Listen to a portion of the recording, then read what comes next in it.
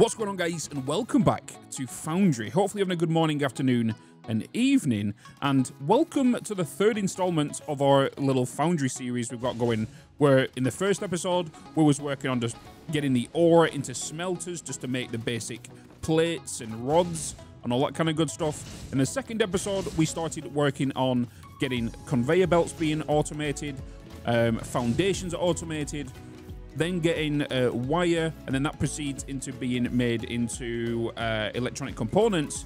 But then we also got the, uh, the foundations and the conveyor belts and worked out that they are required for Science Pack 2s, which then work the way into this science uh, lab here, as, as well as the blue ones, where we can then start researching and automating blue and red science. As you can tell right now, we are currently researching conveyor belts Mark II, uh, because one, we're going to need them, and two, we're going to need faster belts eventually. Um, so we've got this kind of going over here. And as you can probably tell already, we have got a new little building here because that wasn't here in the last episode. But if you remember me stating, we did just recently unlock steel. Uh, and we've got steel in here now. We've got also xenoferrite ignium ore blend. And that needs to be done in the crusher, which we have right here. But as you can tell, I've already got one built right like this. So basically, this allows two items to go into, which is the xenoferrite blend and the ignium, uh, sorry, the xenoferrite rubble and the ignium rubble, which will then get turned into xenoferrite ignium ore blend at 20 per minute. But if you notice, the xenoferrite does require 80, where the ignium does require 40. And we we already know that Mark 1 belts hold a maximum of 160 items per minute and the uh, ignium does require 40. So we can either put down two crushers or we can put down four crushers and then upgrade the xenoferrite to bring in a 320 on the belts rather than the 160 where obviously only two will be able to get done. So whilst I was um, off the recording, I quickly built this because you guys don't need to see me put foundations down and all that kind of stuff uh, like this because it'd be a little bit boring. So I kind of like popped it in for you guys for the start of this episode. But you might have noticed I've created a little bit of railings and just a little bit of a walkway towards this general location. But I do want to just give like you know, give an apology out real quick because the last couple of days you might not have noticed that I've been live streaming. Uh, and if you're not in the Discord, you won't know. But on Sunday, unfortunately, I stumbled out my walk-in wardrobe and I went towards my studio where I fell into the doorway and I actually smacked my left shoulder against the door frame uh, of, of my studio room. And uh, I dislocated my shoulder, but luckily enough, it popped back in. But I was getting extreme pain going down my arm and to find out eventually after some scans that I trapped a nerve. So they had to fix it and do all that kind of stuff. Um, so I just want to give you a bit of an update of why there might not have been any live streams on Monday and Tuesday this week. Uh, I'm saying that, but it's Tuesday today. Um, but I am doing well. I'm doing fine. Yeah, it's a little bit pain. It's, you know, it's at the end of the day, it's, it's nothing, but I'm doing my best to kind of recover it quickly so I can kind of get back into doing the stuff. Hence the reason you might not have seen any VODs going up on the VOD channel where all of my live stream gets posted in regards to the progression of the games we play. But this is YouTube. We are focused on videos over here, and that is eventually is exactly what we're doing right now. So what we what I want to do is, as you can tell, I've got the ignium ore blend coming around here, and we have the xenoferrite coming this way as well. I've also doubled the production of the whole um, xenoferrite line here. We did originally have just the four going that way, but I've now doubled this up here, and we have the xenoferrite coming along here. So we know this is a 160 line, this is a 160 line. We're currently researching conveyor belt marks 2, which is currently 24%, as you can see. But what we want to do is we want to put down four crushers. So we're going to put one down, let's say, one here, one here, one here, and one here. And then on the input side, we're going to put that, I'm falling off. We're going to put down a xenoferrite inputs, inputs, inputs, and inputs. And then we're going to get the long inserters to grab the xenoferrite from the four belts. So we're going to put one, two, three, four. They are now all going into here, which it wouldn't surprise me if eventually we put that in there. Also, if we press V, we can see controls and equals equals copy target with settings or shift right mouse. If I shift right mouse, Bladder bing bladder blosh. What did I just say right then? Bladder bling blad. Okay, ignore me. I'm on medication. All right. And then shift left mouse button. It's then going to copy the recipes over to these machines. But one thing I need to start using is pressing my equals key to actually just copy and paste stuff instead of just going in here and grabbing it. Yes, I've got Hotbars. I'm not a big Hotbar lover. If you guys have seen my Satisfactory series, I don't really use Hotbars. I don't know why. It, it's just it's just a force of habit um, and all that kind of stuff. Um, I obviously, unfortunately, I don't have a mouse with like you know um, MMO buttons on the side. I've got an FPS mouse. So if I had the 12 buttons on my thumb, that would make it easier. And that was something I did have early Satisfactory days in my early factory gaming days. Uh, where now I've only got three buttons on the side. But we have now got this blend being created. And I want to put this into storage. So we're just going to do like we normally do. We're going to grab ourselves uh, storage. And we're going to put this four blocks away from uh, the machine. So we're going to put one, two, three, four. I'm going to place that right there. And then we're going to make a two space gap and put one there. And same for here.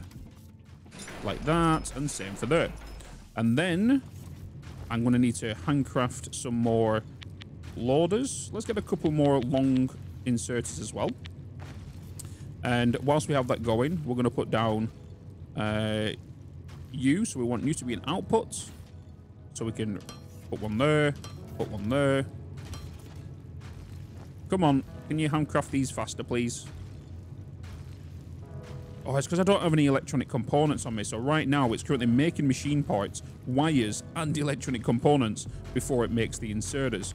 Where technically, I should just quickly go over there and grab some. But like I said, I do want to create like a central storage at some point and have like a minimum amount of items in my inventory at once to, uh, you know, speed up the process of some of this handcrafting. Uh, but again, let's make that an output. Change it to input uh, I'm going to combine you there, you there, you there, and you there.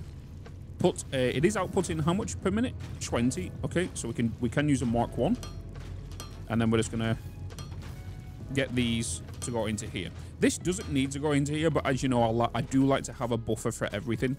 Um, and then from here, we want to look at the assemblers, right? Because to make steel, um, we need a advanced smelter. Uh, a smelter. Okay, so now we need to put down... Uh, what's the recipe for this? I wish we could see without putting down a smelter. Um, what it will be. I feel like what I should do is just grab a couple of you. Oh my god, I'm pressing keys I should be pressing. There we go.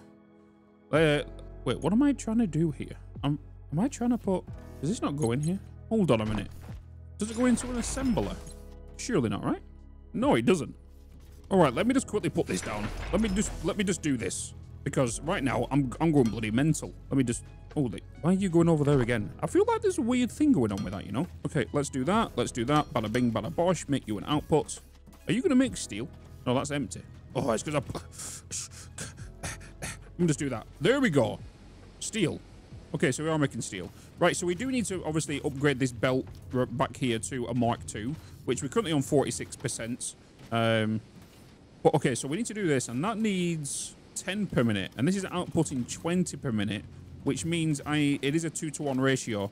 So one crusher goes into two assemb... Oh, I should have moved this over by... Okay, I'm, I'm going to get all of this here, and I'm going to move it over by one block, because then this will allow me to have this smelter here. That storage can then go into that four block there, where we can have the inserter and, uh, sorry, output and input here, output, input into this smelter, and we should be able to have eight smelters in a line right here. But then I can put all of these down correctly. All right, so that is exactly what I went and did. I've now added eight smelters here. I've then got the storage going into two machines. So we have one input, which is 20 per minute. Each of these are going to be 10 going into each of these smelters. Right now, these aren't running because we're still waiting for the Mark II, which if you look now in the top right, it is 97%. We have the smelters, uh, the crushers, sorry, moving away. But I've also added a bit more of a walkway around here now, and I've put some railings down in between these. But there we go. Bob is your uncle, Fanny's your aunt, And then we can have a look at these Mark II belts and what they require to actually be uh, created. And then we'll see, you know, how easy it is to currently replace Mark I belts. All right, so research has been done, but I want to quickly remove this. If we actually right click on the landing location, we can click remove on that and get rid of that. We don't actually need this because if you would have seen my tips and tricks video, you will know by if by looking up in the top left hand corner, our spawn location is actually set to zero zero. So this right this spot right here is where I spawned when I first launched this save. Uh, and your height will vary. But uh, some people have been asking for the seed. If you do want the seed for this game, it's up in the top left-hand corner. It is that uh, the longest number, which is 77707 9097. So some people said, you know, you've got a better seed. I kind of like where you are and I want to play along. Well, there you go. Uh, I did mention that in episode one, but we do have Mark II belts unlocked now. And to produce these, we need conveyor Mark 1s, we need machinery parts, and we need electronic components. So we can grab a few of these actually. Let's um, let's make a few of them. Uh, let's get a couple of the ramps as well, because obviously we're going to need a few of these. Uh, I could just right click on them. Let's get a couple of these. Uh, and now we've got a couple of them. I want to, I do want to bring um, you into here with Mark ones. Uh, where's the lifts? Where's this? The, oh, this those are being. Yeah, they, they, they'll get done in a bit. Uh, let's add them into there. And then foundations, bada bing, bada bosh. Okay, cool. Um, so let's run along here and let's see what we can do. So let's bring out the Mark 1, uh, Mark 2, sorry. We can look at the belt, and it does say, click to replace conveyor lines, belts 40, slope 0. We're currently missing 24 belts, which will upgrade as much as possible without creating gaps. Cool. Uh, we can hold left control, only upgrade targeted belt, or hold Alt to disable building uh, replacement mode. So if we hold Alt, we can actually build on top of the actual belts. Um, so we're currently waiting on this to be done. We're currently missing 16 belts. So I'll be back with you in a couple of minutes when we've got some of these belts uh, in my inventory. Okay, so we click that. We have now upgraded this whole entire section to actually Mark II. We don't need to do this one because these are only requiring 40, 80, 120, 160, which is enough for a Mark 1 belt. And then it's this one that needs the 320 because, you know, 80, 160, double 160 times 2 is 320. So we should now be good here. But what I want to do next is I want to kind of put down all of these into a storage. So I'm thinking we just go one, two, three, four, five, six, seven, eight. I should have made them all outputs before I did that. It's, it's a little habit I've got right now. I should really, you know, when I get these in my hand, I should right click and make sure what to output. Otherwise, I would have go into each every single one of these to start making and toggle them to an output. I could save myself a lot of trouble and then I want to do a storage. Uh, I keep going over here to build, and I accidentally build some instead of coming over here.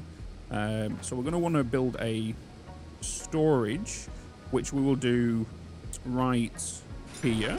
And then we are going to bring them all down. So let's get uh, you to come along here like this. We're going to rotate you there, rotate you there, bring you all the way along here, put you on an input here, like so. And then we're going to put an output here.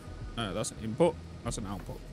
And then this can lead to any future places where it might need to go. So let's get some railings and we can connect these up. Oh, that's T railings. Um, I only found out this as well um, a few hours ago. Is you can actually right click the railings and you'll change the corners and all this kind of stuff. So we can put that along there, change to a corner. Then I'll come over here get this one and then change this to a T-shape like so. And now we have railings. And then uh, we do need to now look into the next recipe, which is advanced machinery parts. So two machinery parts equals steel beams. And as we know, we do actually have machinery parts right here.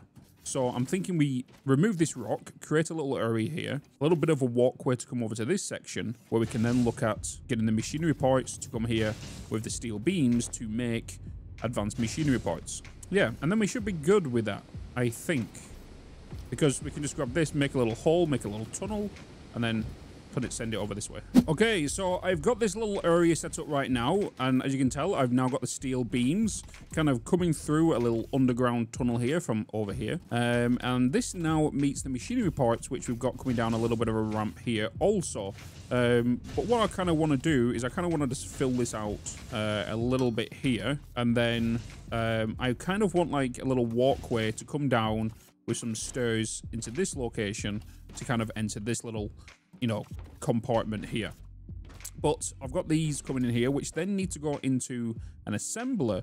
But I have got the assembler Mark IIs, which I've got currently six here. So we have got the assembly Mark IIs being researched now. I'm currently researching the character crafting speed uh, also. So we're going to put down you here, you here, and you here, like this. Uh, and then if we come into here, we can actually see we want to make the machinery parts. So we have the machinery parts coming in at 40 per minute and the steel beams at 20 per minute. And as we know, all of these smelters do give us 10 steel beams per minute. We have 8 in total, so quick maths, we're making 80 steel beams per minute. So we're going to do the same for this one. Wait, I should really copy it. Shift right, shift right click. Oh, I need to pull up the this, don't I? Shift right click, shift left click, shift left click. Okay, cool beans. So now that we've got this going, we then need to put this into storage here. So we are going to output all of these um, into you, into you, and into you. And then we're just going to put this down like so. But then I don't know why I've done it this way. Maybe I'll change it. Who knows? And then we'll put down... Where am I going again? I've right-clicked that out of there. No, what, what am I doing? What am I doing? That in... That in there. Eh. I, I, I don't... I, ignore me. I'm allowed. So now we've got the advanced machinery parts. Beautiful. So that's then going to go into the storage. But in regards to this here, I want to make this a little bit of a walkway. So we can kind of put you down, let's say here. Do I kind of want to overlap it there? do I want to... I don't know. Put it there like this maybe so we can still see the, the beams.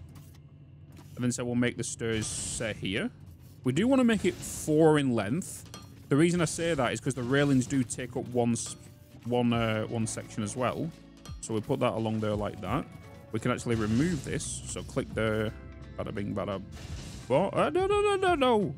There. I always like to raise it when I go to do like a mass delete. Because when you do it like this, and I want that, sometimes if you actually don't realize, you can't tell if you're deleting under it. So if you look at the sun right now, you can see where it says height 1. Sometimes if I'm lower, you can't visually see in-game that I'm you know, dismantling lower. So I'm going to actually dismantle these belts, the foundations. So I always take it up just so I know I'm not deleting anything under it and then removing it that way. You know what I mean? Um, it is a little bit of a pain, and I, I have asked the developers to see if they'll add a lock button so we don't have to do it that way. Uh, and hopefully they'll uh, take that in. Uh, the only feature they, they have added that I highly requested during the, the month early access um, when we had the game before release uh, which they added literally the day after, after they asked me about it, was like, was there a reason you wanted this in game? I says, yeah, because one, it's it's absurdly loud, and that's if you go into settings and go into audio, the footset sound effects. Originally, this slider was not here um, until I asked them to change it, and it would have been like this all the time, and that is extremely loud. And then during the early access, uh, there was, you know, I, I was like can you please add a slider for this? Because I'm trying to record and everything, but it's like, so, uh, like really, really loud. And there's like, sure, a day later, they tagged me and there's like, Bitz, we've added it for you. Um, thanks for your feedback. So you're welcome, guys. So I've done my part to this game, uh, and we've now got a footstep slider. So devs, if you watch this, I appreciate again for adding that.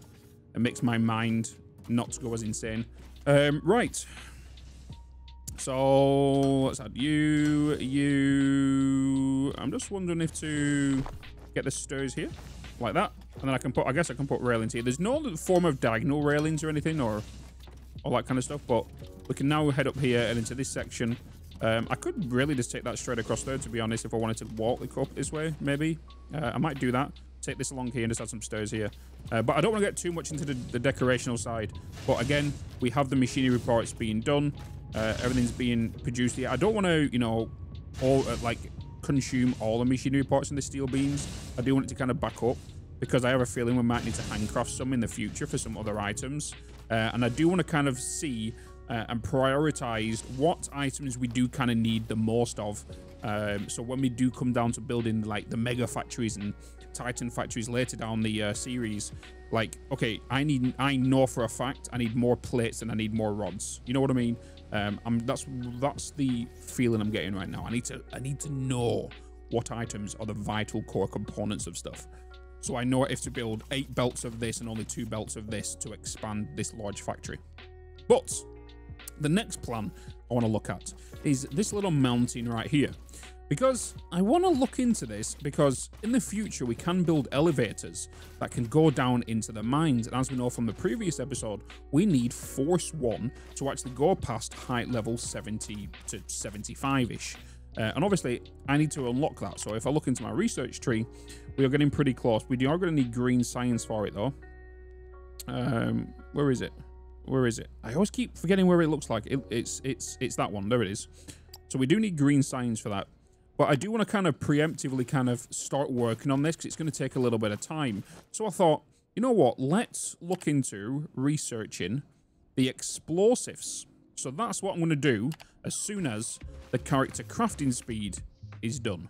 Okay, so as you can tell, I've currently got the explosives being crafted right now. So I'm currently making uh, explosive primitive recipe, which is ignium ore rubble and technum ore rubble with biomass. So we do need biomass for these explosives. And then we go into handhelds. I can then make explosive charges and I can make a detonator. So right now we've got 135, 34 being built. So I'm going to get loads of these being made after this because right now I've been handcrafting away at this mountain and you can tell it doesn't look very natural-esque. And the reason I say that, we have flat kind of uh, surfaces here uh, and it's just very square and blocky and I kind of don't want that. I want the kind of, it's a lot more of a natural cave and it looks, it looks like it was already there uh, and not man-made like this. So what I need to do now is just wait for the explosives and get ready to start blowing up this mountain. So I kind of placed a few explosives, as you can tell. Um, I don't know how many precisely, but I've also got now a detonator. and now I have explosives. so, oh my god, that was pretty nutty. Now the cave is definitely a lot bigger. And it looks a little bit more natural. It's still not as natural as I like. And we are going to take this further into this way. I do need to now make some more explosive. Do I need more? I do need more biomass and everything. Oh my god, I've got so much I've got to do with these. But we now have explosives. Because explosives go boom boom. so we place, we place, we place more, we more, more bombs. More boom booms. We place many, many, many, many, many, many explosives. But also, if you've not watched the tips and tricks video, let me just blow these up. Boom. If you've not seen the tips and tricks video, the explosives actually have a 9x9 spherical grid. What I mean by that is if we place down an explosives here, boom, blow that up, uh, we can see it makes a little bit of a nice little symmetrical hole. And if we go from one side to another, that's 9. And then obviously we go from here, that's 9. And then if we go from here to the ground level, uh, I want to go there, that is uh, 4. So it's not by 9 by 9. It's 9 wide, but 8 up. Right? Yeah, yeah, yeah. So that means it'll go up to here, and then 9 wide. So it's, yeah. Okay. Ignore what I initially said. I, I know what I, I, I said. I meant originally. But we need to make this a bit better. But I've also found out as well is with explosives, explosives do damage your own structures. So take that into consideration when building. And also, they don't destroy the natural ores. So the ores stay fine, but everything around it gets demolished. So you can't accidentally remove ores, just in case you're worried. Right. So the next thing I've been doing is I've been running around. I've been looking at some... Uh... Okay, so I've just come back from a little adventure. As you can probably tell right now, I'm currently researching glass production. Uh, that is because I've got a little bit of research done. I've got some concrete now being made. Well, not being made, but we've got concrete being uh, researched. We've got gravel, we've got cement now. We've also got some new machines, like the casting machine and all that kind of good stuff. Uh, and that can go into glass because I've been looking into the biomass to see if we can automate it and it does look like we can. So if I pull up this we can see glass production goes into greenhouse and the greenhouse allows to farm plant and tree seeds by using greenhouses. So with the greenhouse I'm going to presume we'll look with biomass farming here unlocks automated biomass farming and a decorative wooden block Note that biomass farming is energy inefficient and costs more power than it yields. So wooden blocks and biomass. So it's going to be a place for us to automate biomass into explosives because I don't want to keep hand making explosives. I'd rather have a chest so I can go up to them and grab them and then explore another mountain. Um, so I've been kind of exploring and I've come across some um, ores. One's right here, which is a unknown resource, which I do believe is concrete. Uh, but I don't want to look too much into that just yet. What's that one? That's ignium. And there's another unknown here. So I've been running around, I've kind of been scanning all this kind of stuff.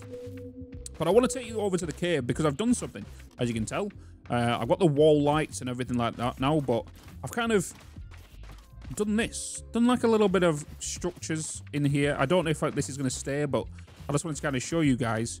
And then eventually maybe we'll make a tunnel down here that leads to an elevator shaft that goes takes us down or something. And then we can have some other lifts up here with belts coming out. And I, I don't know just yet. But here's a kind of little feel that I've kind of gone for. And you must be wondering how I've got power over here. Well, the power is actually hidden under the ground. So if I just remove some blocks here, you can actually see I've made like a, you could say like cable, underground cable system, but with the foundations.